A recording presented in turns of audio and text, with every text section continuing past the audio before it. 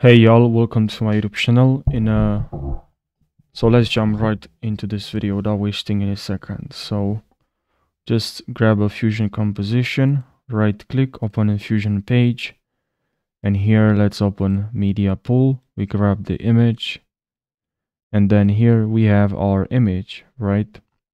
That's true. So we need a merge.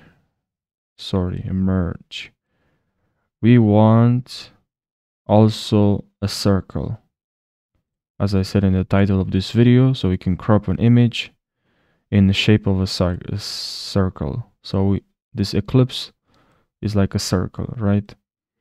So now this is an effect. This is uh this is the foreground which is like in front of you. This is the background and this is the effect.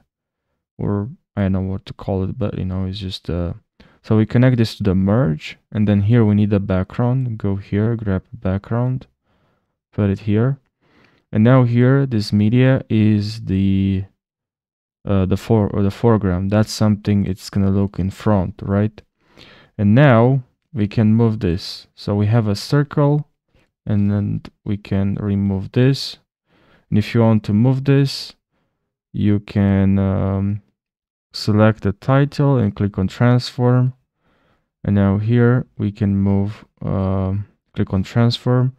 Then here we can move the image. Can size the image. We can change the position but if that's something we don't want, now this is in the edit page we have, but if you want to move the entire circle, what you have to do is to add a transform here. So now we can move it.